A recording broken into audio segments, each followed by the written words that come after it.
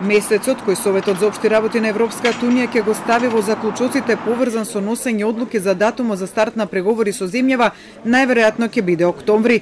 Според нацар заклучоците од вчерашниот состанок на амбасадорите на земјите членки, но и денешните изјави на дел од министрите учесници во Советот, се поизвесно е дека Унијата на прашањето за проширување ќе се наврати во октомври. Германскиот министер за Европа пред состанокот изјави дека тој се согласува со извештајот на Европската комисија дека Северна Македонија и Албанија ги исполниле условите за старт на преговори, но оти Бундестагот немал доволно време истите да ги разгледа. Пред една година во Луксембург им дадовме на двете земји задачи и моје мислење е дека тие ги исполнија. Разбирам дека се работи за важни прашања за партнерските земји, но мора да му дадеме време на Бундестаг. Се надевам на позитивен исход колку е можно побрзо, најдоцна до октомври. Шефот на австриската дипломатија пак очекува јасно зелено светло од Советот на Европската Унија за старт на преговорите со двете балтински држави. Северна Македонија направи секако што треба. Албанија ја заврши својата домашна задача, иако Европската Унија само ги шири рацете, тоа би бил катастрофален сигнал за регионот. Романскиот министр пак е настав дека се додека Македонија не е разочарана, не се ни тие.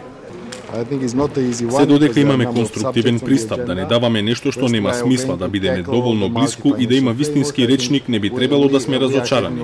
Важно е да го чуваме моментумот од преспа. Во македонската влада очекувањата се дека датумот за преговори ќе стигне оваа есен.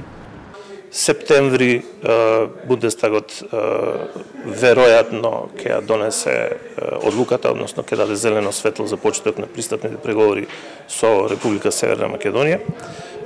И потоа останува во октомври да може да биде и порано се разбира, но во она редовна постапка останува на октомври да го добиеме да ја добиеме официјалната одлука за почеток на пристапните преговори.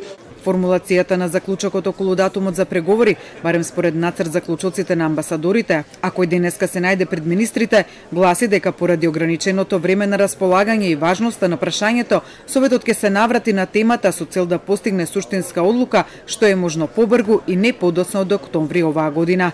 Но и покрај тоа се очекува тешка дебата по ова прашање, бидејќи поголема група земји членки бара преговори веднаш, а на иста линија линија еврокомесарот Јоханес Хан, кој вчера изјави дека не е задоволен со нацар за клучоците и дека треба да се убедат скептичните земји да дозволат преговори. Проблем прави и Кипар, кој се закани со вето на секоја одлука за проширување, доколку Унијата не заземе построг став кон турското истражување на природен газ во Медитеранот.